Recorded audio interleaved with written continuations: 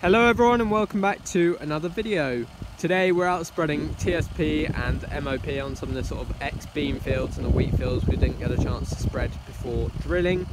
Um, but in a field here, which you might recognise because this was the first, uh, the video I put on of the drilling, the first drilling video I put on.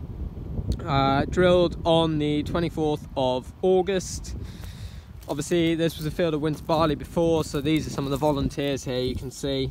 Um, just sort of coming up, but they've been sprayed off now, so um, they sh should see them go over the next sort of couple of weeks. Um, but just thought I'd come and have a look at the emergence. Going all right, but what farmers are really concerned about, let me see if I can find some. There's a good example. Uh, that's what we're after see the holes in the plant. So this is caused by a cabbage stem flea beetle, uh, or CSFB. Farmers are absolutely cursing them at the moment. Um, obviously chewing through the leaf, reducing the, the yields, the leaf area, photosynthesis and so on, was being able to be controlled by neonicotinoid seed dressings, but that's since been banned, uh, basically because of bees over the short story. Um, it was thought that it was causing paralysis, I think, of the central nervous system in bees and therefore like killing them off. But in fact, I think it's just sort of dazing them, so it takes them a little while longer to, to find their way back home. Anyway, without that argument, it's causing farms a massive issue. And seen all over social media, Twitter, and things that farms are actually ripping out the oilseed rape. They've spent money, time, and effort on. Uh, on growing and putting in other things like maize or waiting to put in wheat, uh, spring crops and so on. Um, so this is kind of what we're out looking for and you can also you can spray for it but it's not quite as effective as the seed dressing was so it's a little bit little bit more risky to, to grow oilseed rape. Um, other things we're looking out for is of course slugs and uh, yeah here's here's a plant that's been absolutely hammered by cabbage stem flea beetle and also slugs. So uh, cabbage stem flea beetle causing these shot hole sort of yeah obviously the holes in the leaf and then some slugs just sort of nibbling around the edge as well. So um, yeah very kind. You can see just in there these are some of the metaldehyde slug pellets that were uh, that have been spread on the field in a kind of effort to uh, minimize, why is that gone out of focus, there we go, uh, in an effort to sort of control the slugs, but not quite doing so um, in this case. Also, the field hasn't been rolled, which is another issue for sort of trash and slugs as well.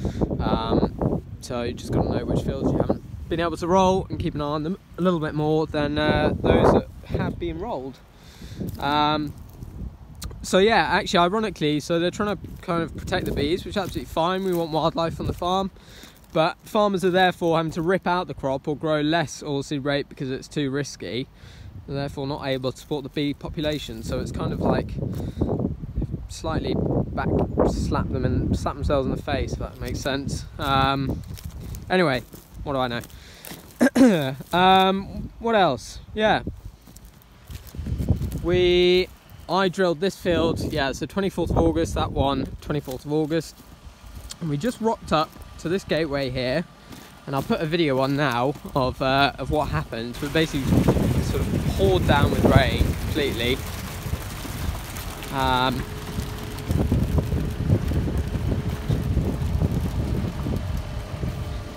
and we'll go and have a look. These were obviously drilled there for, what would I say, maybe a week later than, than that field there. This one was drilled quite late at night, so this should be behind a few, quite a few stages in terms of the growth. This, yeah, by looks things, this has been rolled. There we go. This has definitely been rolled. Um, so yeah, you can see the difference with sort of consolidation and less cloddy hopefully less sort of well this is just more trashy field this was wheat. Um, it's also had slug pellets on. And yeah so there's some wheat volunteers just down that row there. Let's have a look at some of the oilseed rape that's coming up. So here's a little bunch of them.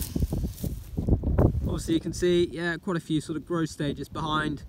They're looking fairly clean, but want to keep an eye on these for again flea beetle and slug damage. Um, and obviously therefore just the thing is if you're if you're having an issue in that field it's likely that you're then going to have an issue in this field also looking out for weeds I'm not sure what that is hope to do my BASIS over the next few years so um, I'm sure I'll get a bit more refined at uh, finding out what weeds are and so on but yeah so this would have been drilled uh, yeah I'd say a week later or something and um, quite a nice little block of oilseed rape coming up here. So uh, while I was here, thought we'd come and have a look. Um, we'll go off and spread some, now just got the MOP on some ex-bean ground.